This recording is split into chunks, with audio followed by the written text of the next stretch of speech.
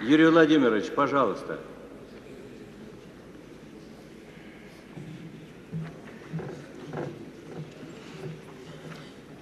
Здравствуйте. С кем не виделся?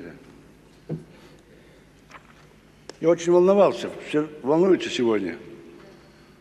Ростоцкий волновался, что он первый раз выступает перед президентом. Я не волнуюсь, потому что я второй раз уже выступаю. Спокойно уже.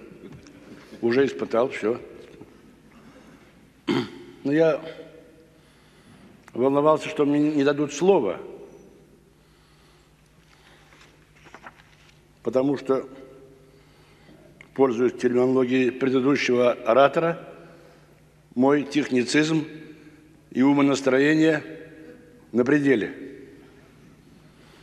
Я буду выступать в связи с тем, что мы вышли на рыночную систему не от имени цирка на Цветном бульваре, а уже от имени цирка на центральном рынке. Шутка.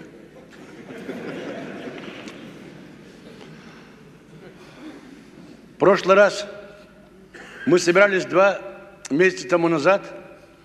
Это была небольшая группа, человек 30. В основном москвичи все. И мы были у президента, и все. Ему рассказывали, как сейчас.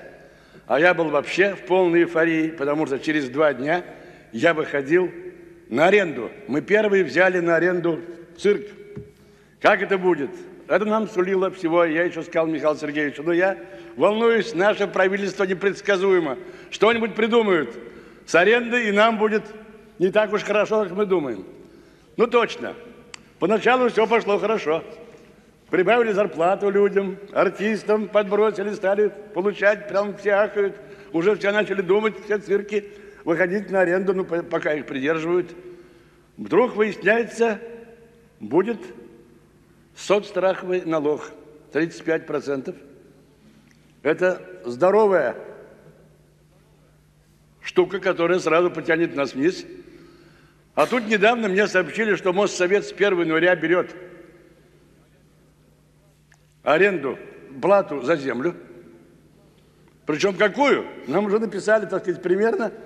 Мы, имея меньше двух тысяч зрителей, будем платить около 600 тысяч рублей в год. Да, я позвонил Станкевичу, говорю, слушайте, а что происходит? Почему -то с нас будут... Он говорит, да, с 1 января будут брать, будете платить за землю. Я говорю, землю-то купили же эту, на которой цирк? Он говорит, как купили? После Октябрьской революции никто землю не покупал. Я говорю, так ее купили-то.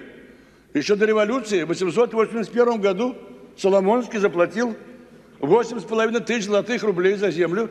И цирк стоит, чего ж вы второй раз берете за землю-то?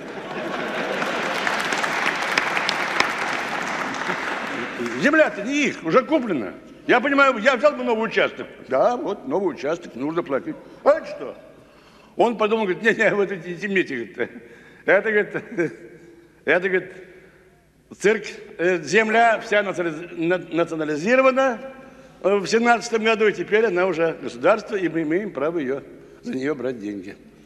Вот, значит, удар под ложечку, и я призадумался, и вместо того, чтобы думать о елке, я считаю деньги, мы обычно делали красивые елки для детей, шили костюмы красивые. Сейчас мы посмотрели, что стоимость костюмов в, в половина будет наших доходов вообще за этот месяц. И мы сразу стали думать, во что там одевать этих артистов, рогожку, там, знаете, там, кордонные костюмы. Но это не все еще. Не все.